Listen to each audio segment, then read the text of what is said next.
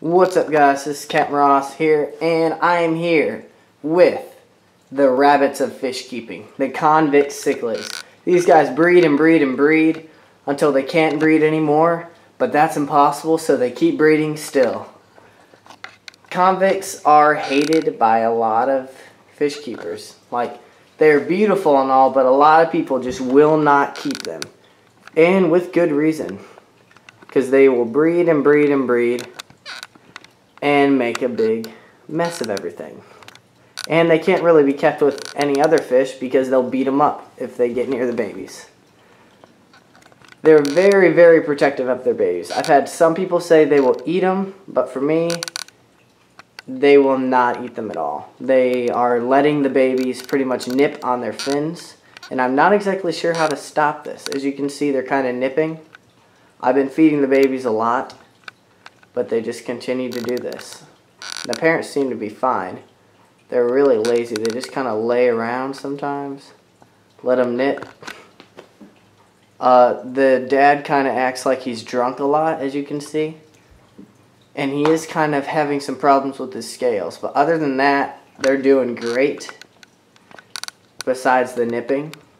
And I have these because I've been breeding them to sell to a local fish keeper who's really getting into the fish keeping. He's going to keep natives and he's getting a 55 from Fort Wayne Fish Tanks if he decides to sell it. And he's going to, he's keeping a green sunfish right now. Getting a big tank eventually for it. And I've been feeding, I've been selling him feeders, which are these little convicts for his green sunfish. So it's been going really well. I've been making a little bit of profit off of it because they breed all the time and it I can sell them all the time too. So if any of you guys are looking for feeder fish at a really cheap price and you live around Fort Wayne, I can definitely sell you some because I'm having a hard time getting rid of all of them. Because I've got like 50 in here and I've gotten rid of like half of them. So they just they're everywhere. Hide in the rocks and all over the place. I'm waiting for them to breed some more so I can get the smaller ones in there so I can feed some to my fish. But I'm, I'm okay with how many fish are in here right now, I guess. If you guys know what this is when the male just like swims around like that, I think he's trying to avoid the babies nipping him. And I'm not exactly sure how to stop the babies from doing this. So if you guys could help me with that, that would be awesome. The female is very pretty. Dark black stripes.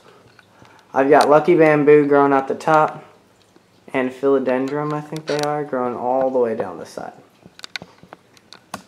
So this is my old goldfish tank until it was warm enough to put the goldfish in the pond.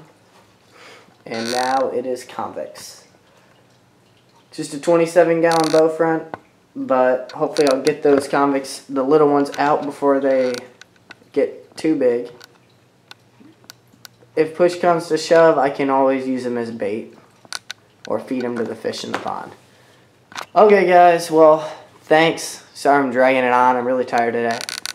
And I will see you all in the next video. Make sure you let me know what I can do about this nipping because it's really getting on my nerves. As you can see, they just won't stop.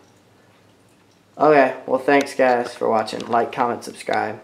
Adios.